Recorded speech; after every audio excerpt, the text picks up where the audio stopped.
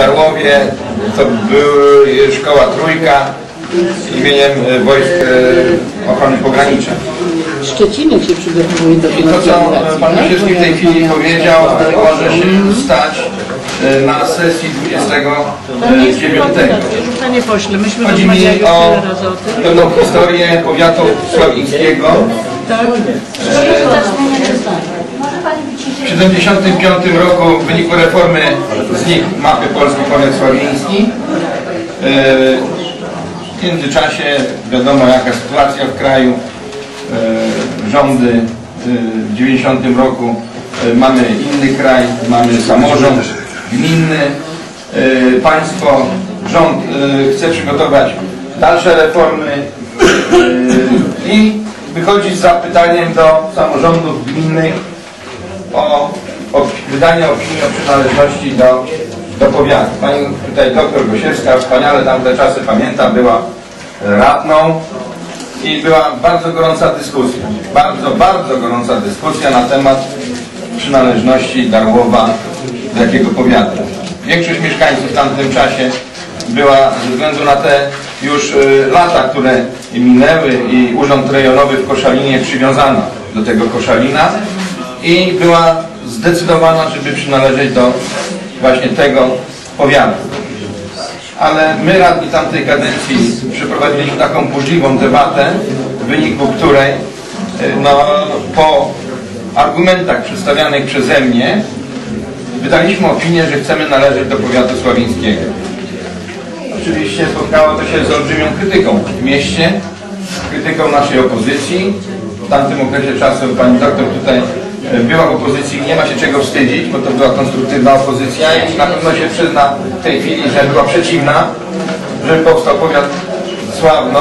Ale pan był razem żoną. E, Tak, startowaliśmy do, do wyborów razem, ale później nas właśnie pewne takie różnice, które tutaj nie są istotne. Mi chodzi właśnie o ten jeden temat podstawowy, powiat Sławno.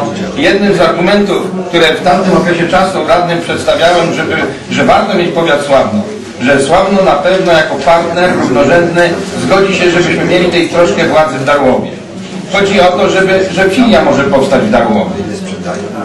I teraz, kiedy ta chwila po tylu latach jest możliwa do zrealizowania i prawdopodobnie będzie zrealizowana, bo mamy klub tutaj w powiecie e, sam, samorządowcy dla powiatu, miał wczoraj spotkanie i dziewięciu radnych wypowiedziało się za utworzeniem e, filii e, w Darłowie. Oczywiście to nie będzie przeniesienie wydziałów, tylko to będą części wydziałów niektórych istotnych, gdzie mieszkańcy gminy Darłowo i miasta Darłowo po prostu bardzo często przyjeżdżają do Sławna. Jest tych wyjazdów i przyjazdów, wyjazdów z Darłowa i przyjazdów ponad 5 tysięcy rocznie. Starczy policzyć, to jest 5 tysięcy godzin na e, niepotrzebną po prostu jazdę.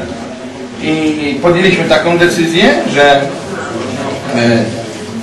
e, Rada podejmie taką decyzję, mam nadzieję, to nigdy nic nie wiadomo, ale jest dziewięciu radnych, którzy są w tej chwili zdeterminowani i będą głosować za tym, żeby tą filię w Darłowie utworzyć. No i bardzo nam przykro, że PiS, jakby ruch wywodzący się z tych samych korzeni co ja, no nie chce po prostu zgodzić się na to utworzenie tej filii w Darłowie i no, to nie ma nic jakiegoś wspólnego z Solidarnością, bo ja uważam, że, że to jest, powinna być normalność, że to nie jest mój pomysł, żeby ta filia w Darłowie była. To jest pomysł tamtych lat, lat 90. To jest pomysł od początku, kiedy funkcjonowała Rada Powiatu, radni, którzy startowali, w Dar którzy wygrali wybory w Darłowie, cały czas mieszkańcom obiecywali, że ta filia powstanie 10 lat temu.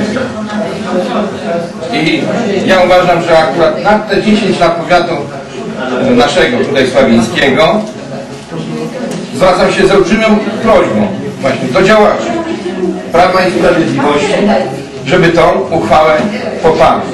Żeby okazali ten właśnie gest pojednania się z mieszkańcami Darłowa, gest solidarnościowy, bo tu nie są ważne pieniądze.